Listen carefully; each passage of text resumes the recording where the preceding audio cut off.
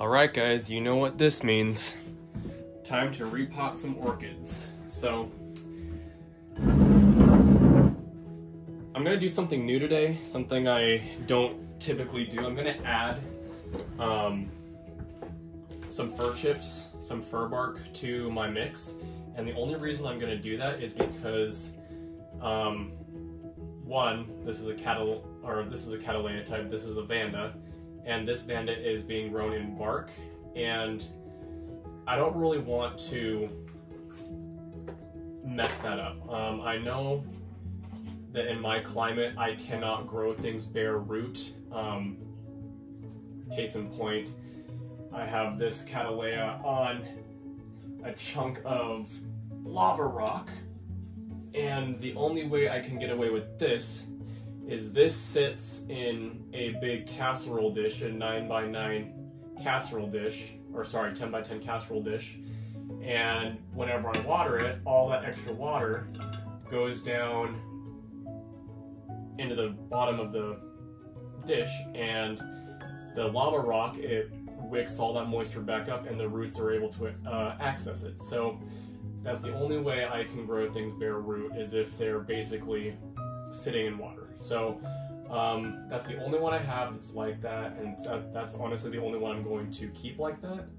Um, I would love to grow this bare root. I would love to just pop it out of this bark and attach a stringer to it so I can hang it up and have it just pendant like this and then just dunk it in a bucket of water to water it, but I would have to do that every morning and every night. And I don't have time to do that. I work uh, between 10 and 12 hours a day, and I just I can't do that. We I got too much going on, and I have animals I have to feed and take care of, and lots of projects around the house that need to be done uh, constantly. So that's just not going to happen. These um, are going to get potted up. This uh, Vanda coerulea and this division of the Dialaelia snowflake that uh, we unboxed in the last video.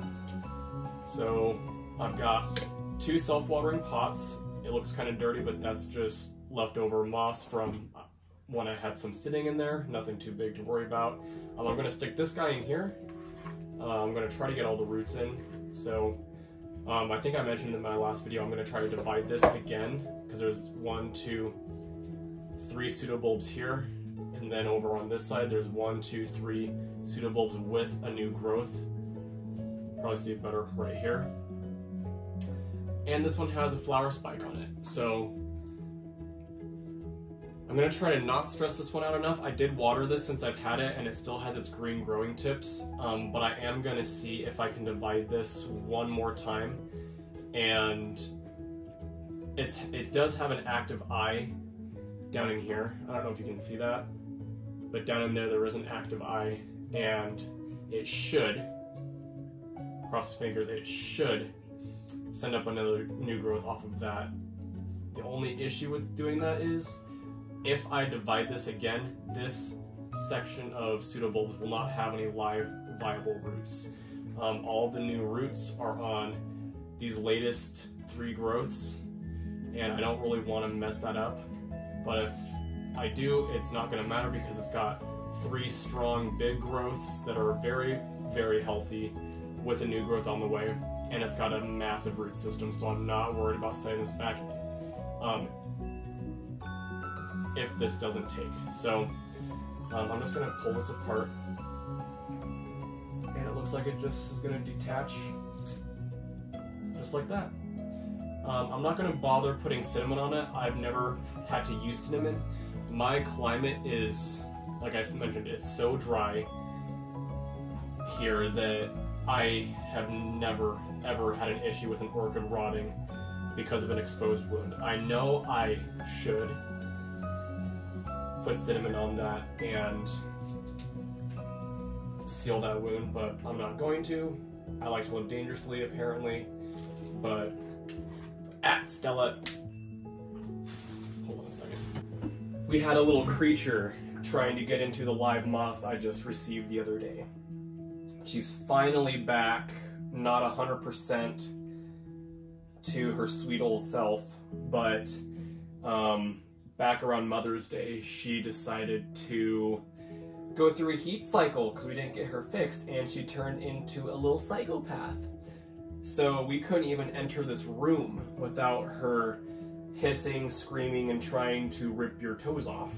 So we had to take her to the vet and get her fixed, and it took about four months May, June, July, August, September. Yeah, just over four months for her hormones to finally settle down and her to calm down and be a nice little creature again. But anywho, uh, she's not going to help us today. She's just causing problems. So I'm to move that moss I have on the floor and she can just scurry around and do her thing. Alright, so basically what I'm to do is I'm not to pot this one up with this one. I'm to keep this separate and I'm to try to um, propagate this, um, hopefully, if that eye develops. And there's actually two older ones here that could develop also. Um, this growth, this pseudobulb has got an eye there, an eye there, and then this bigger one, it's got an actual green eye right there. So I'm gonna try and stick this in some moss and see if I can get this one to develop another plant. And if it does, I might pot together, I might give it away, I might sell it, I don't know. Um, we'll just have to see. So this is gonna go back in the box. And this one is going to go in here. So, um, bear with me, I forgot the leca, which is what I use as a drainage layer at the bottom. So I just use these leca beads, and this is a self-watering pot. It's got a wick in there, and it's got this little tube. I just like to fill this tube with uh, the leca beads. That way, if I get this too full and it's sitting in water, the leca beads will be what's saturated, not the media and I won't cause rotting that way. So I'm just to pour enough of these in the bottom just to fill up that little hole. And the very bottom of the pot. Put these over here for now, because I don't have any room. I have way too much on this table. So here you can see I've got just a bottom layer, that doesn't need to be in there, bottom layer of leca just enough to cover the bottom here. So what's going to go in next is going to be the sphagnum moss because that'll be interacting with the wick here and it'll be drawing moisture up and then I'll do back and forth bark, moss, bark, moss, bark, moss, bark until um, it's completely potted up.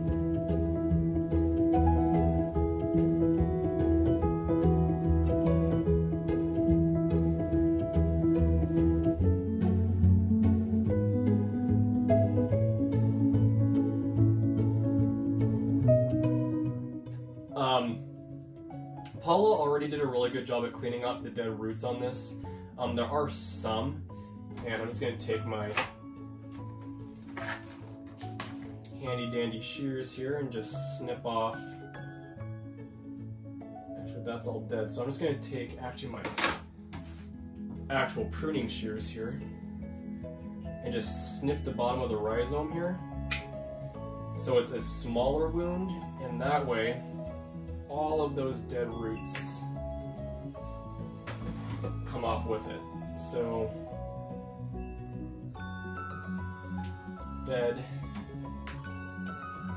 dead, dead.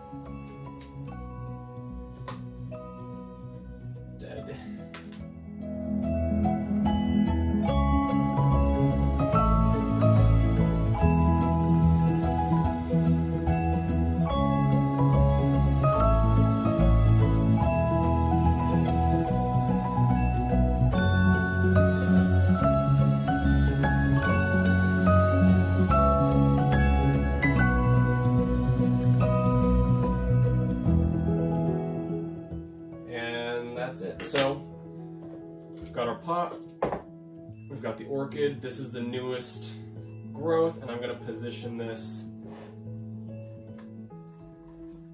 if I can,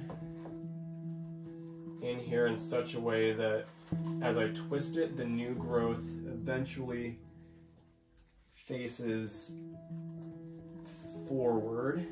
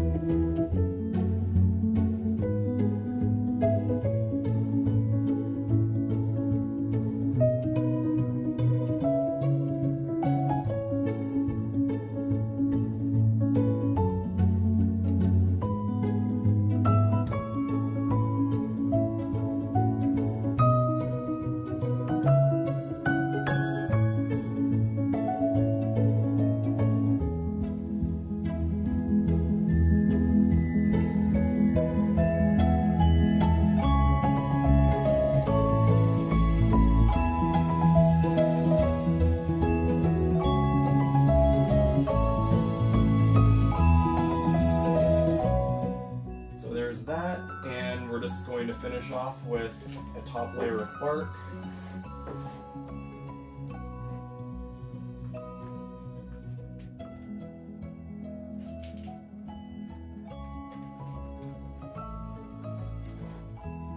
And I'm actually going to take these sheaths off while I'm thinking about it because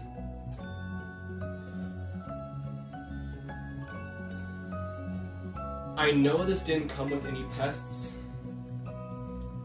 but I do have pests here, and they like to hide inside those old dried sheaths. So these are gonna come off. And it looks like this is a flower spike that aborted, so I'm not even gonna mess with that.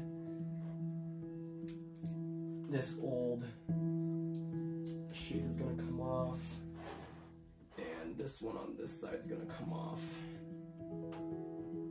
That's still green, so I'm not gonna pull that off yet. That's still being used by the plant to photosynthesize and feed it, so that's just gonna stay on there until it turns brown, then I'll peel it off like the rest of them. Alright. And there's one more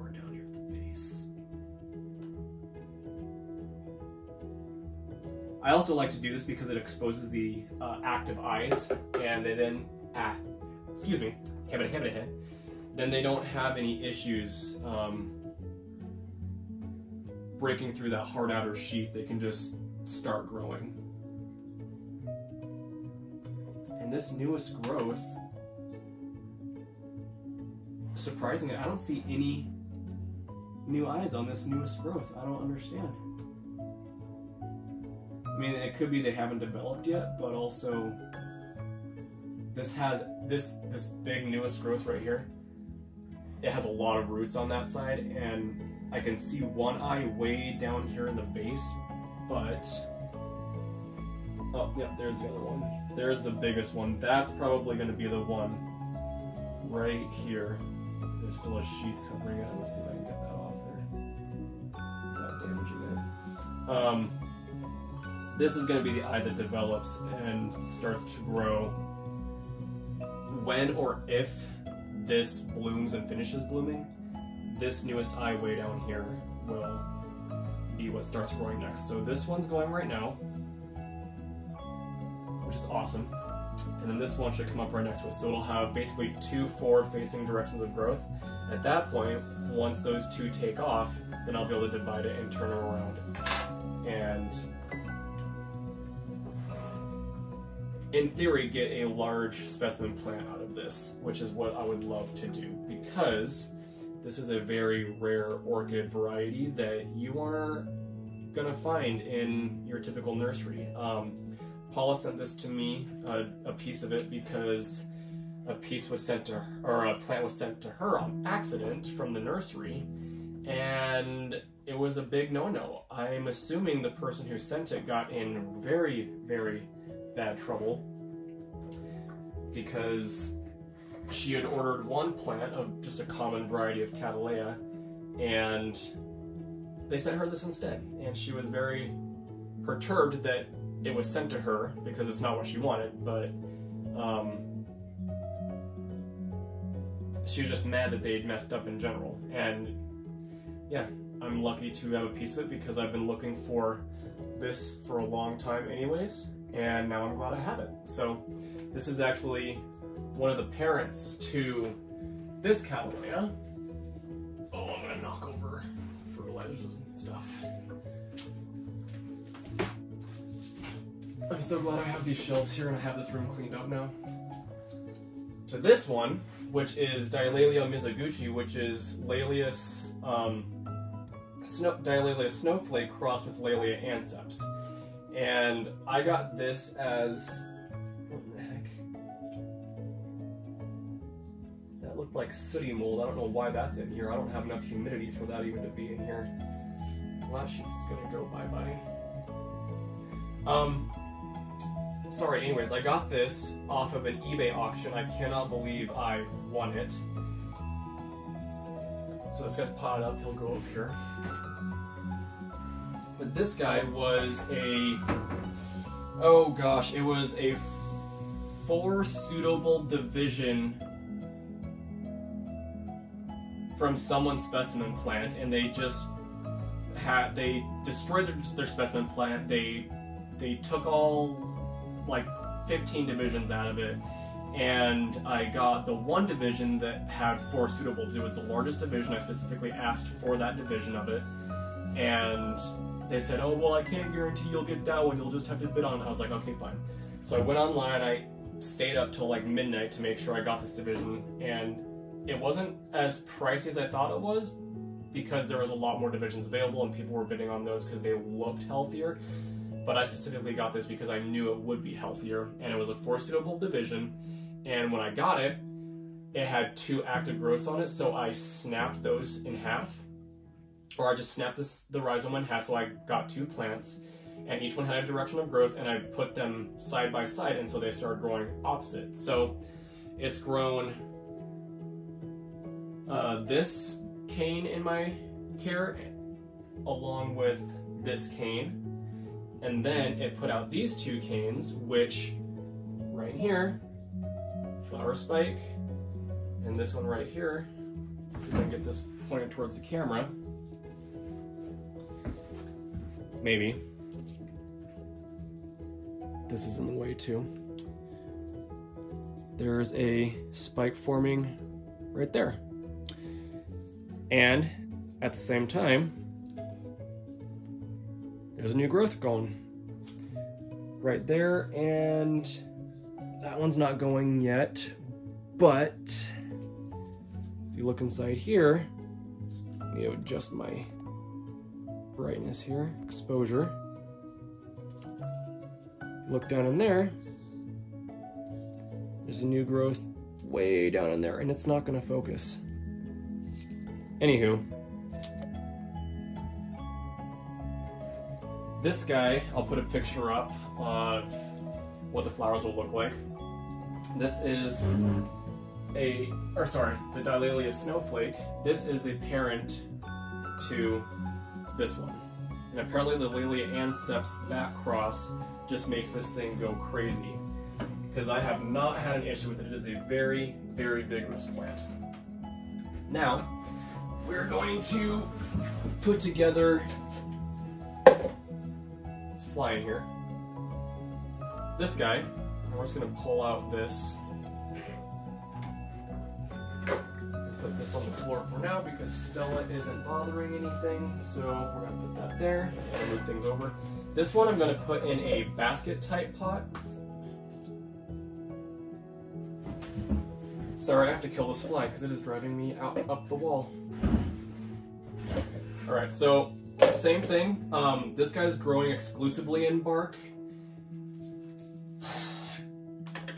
And I really want to keep it in exclu exclusively in bark, but again, like I keep mentioning, I cannot grow in exclusively bark. I have to have moss mixed in, otherwise they just dry out way too fast and I cannot afford to water them uh, every single day. So he's getting a self-watering pot. He's just gonna have to adjust. He's got every single root has an active growth tip and they're even branching. Like this big root right here, it's got a branching tip there. This one is branching here, here, and a new branch on the backside, so I'm not concerned about its root system um, failing because it is currently in active growth. It is going to adapt no matter what I put it in. So um, I guess I'm to see if I can pull this out. Give it a little squeeze, little squeeze, little squeeze, little squeeze.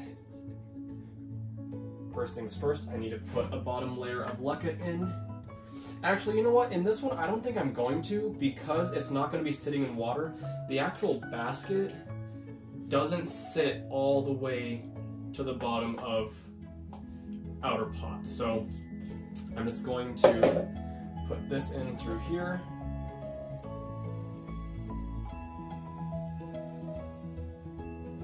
Like so. And then down the other hole like so. Pull them until they're about even. And I'm gonna leave a little loop in here so that I can put some sphagnum moss underneath of that. And that'll help a lot with watering and wicking up um, enough moisture to keep this pot plenty humid for the root system. So that was a pretty decent layer of moss there. So now we're gonna dump in a bunch of bark. Not gonna dump it in because that's just gonna make a mess. And I don't learn from my mistakes. So we're just gonna put some bark in the bottom. Now, we're gonna take this out. And I'm going to assume that this is good quality Orchiata bark and it looks like it's got perlite and some other stuff in here. So, looks like it even has some grit and sand and rock in there. So I'm just gonna dump that in with it. It's not gonna hurt anything. Um, I've actually heard, just word of mouth, nothing substantial or anything, but if you include a little bit of the original potting mix that the plant came in, with whatever it is you're potting it up in, they perform a lot better. I don't know if that's true, that's only hearsay. Um, I would assume that would help a little bit. It would probably provide less of a shock to the orchid if it is disturbed as least as, as less as possible. That just makes sense to me. But yeah, um, I think that looks pretty good. It's pretty centered in the pot and it's growing pretty darn straight. So I'm gonna grab some more moss.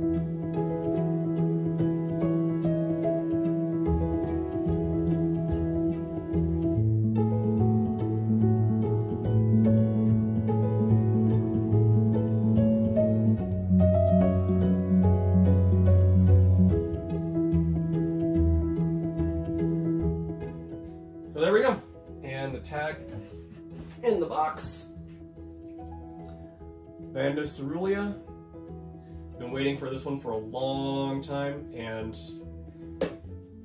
you know, they say patience is a virtue, and all good things come to those who wait. And for people who grow orchids, they all know all too well that you have to have patience when you're dealing with orchids because they are not they aren't for people who need instant gratification. They are a passion. You have to be patient with them because if you're not, you're just going to have a bunch of really sad, terrible, unhealthy looking plants and you're just going to end up throwing them away. So, this is Vanda coerulea and this is the wild type. It's the lighter colored flower. Um, it's almost like a periwinkle blue, not a blue blue like the major nurseries are um, crossing back to to get those real bright, deep blue veining in the petals. I don't like that personally. I like the true periwinkle blue wild type variety of this, and that's what I got. I will put up the exact photo of the eBay um, photos of it when it was in bloom. I'll put those on because I don't think those have a copyright because it has been purchased by me. So for all intents and purposes, this is my plant and it was this plant's blooms. So you will see these, this plant in bloom in a previous picture from one from before I bought it. Um, as you can see, it's bloomed once there and it's bloomed once there. So the next spike, if I can get it to rebloom, should either come out of this node, but below this leaf, or maybe even um, out of this next leaf joint here. So that's that. That's for this video, and we'll see you next time. Thanks for joining in.